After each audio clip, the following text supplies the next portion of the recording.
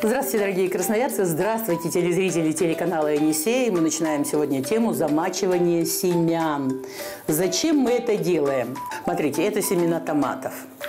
Страшные! Вот страшнее атомной войны просто. Вот посмотрите, кошмар какой-то, какие семечки. Я их высыпаю вот сюда, в синюю плошечку. Значит, здесь у меня есть еще семена. Это томаты. Это томаты. А здесь у меня есть семена э, кабачки. Кабачки, завтрак нефтяника. Э, вы все знакомы с этими кабачками. Это, кстати, цукини.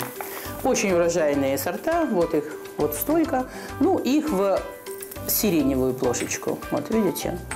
Значит, вообще мне мешает эта корзиночка, пока мы ее уберем.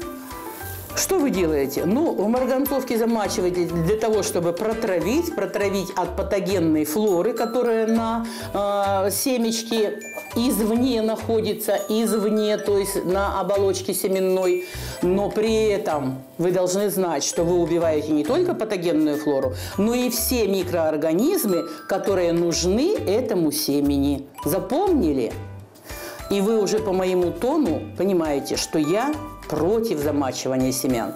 Значит, э, э, замачивая в марганцовке, можно замочить в э, виталайзере, да в каком угодно, их там масса, энергены, ава, флора и так далее, там и экосил, и вы правда их много, я даже вспоминать их не хочу, потому что я этого не делаю.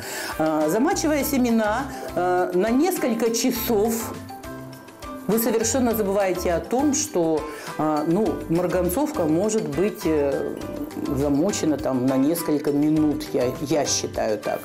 Значит, но если это энергетик или виталайзер, а, если это еще и с гормонами что-то, ну, приходится замачивать надолго. Но этого тоже нельзя делать. Вы поймите, что семена, если... Вот я не буду заливать, мне жалко семена.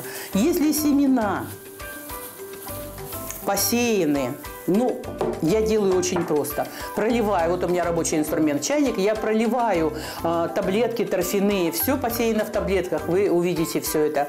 Э, проливаю кипятком, но не по ним, разумеется, вытаскиваю вот так одну, заливаю, потом аккуратно все закрываю. Они набирают влагу, и я раскладываю семена, э, ну, помидоры по две, перцы по две, баклажаны по одной. Э, у меня такой принцип посева, значит, и от того, что они прогрелись.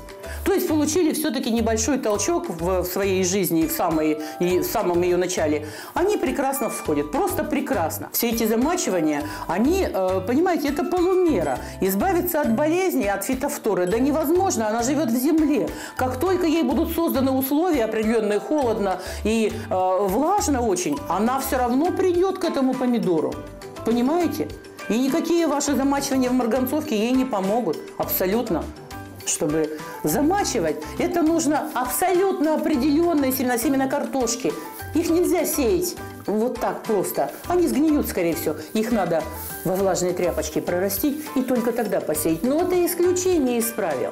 И если вы хотите задать мне вопрос, то, пожалуйста, возьмите свой телефон, поднесите к телевизору, там есть QR-код, нажмите кнопочку камеры, и вы тут же э, перейдете на наш YouTube-канал и, э, конечно же, на рубрику «Порядки на грядке». И мы с вами там пообщаемся. Если у вас это не получится, то выйдите, пожалуйста, на YouTube, и там есть такая маленькая лупа, нажмите на нее, это поиск, и напишите, просто напишите «Порядки на грядке». И опять вы увидите меня и зададите свои вопросы, а я на них отвечу. Всего доброго.